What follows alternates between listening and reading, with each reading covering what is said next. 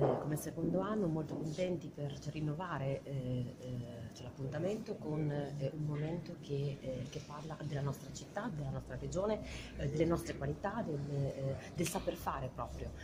quindi davvero un, un, momento per parlare del, del, nostro, del, nostro, Natale, con le nostre tradizioni, con anche tutto quello che, che di bello c'è da, da, far vedere, da, da far sentire, da, da fare anche mangiare delle, eh, eh, delle bellezze tipiche della nostra città che è un appuntamento ormai. No? Genova, un po' come tante città del nord,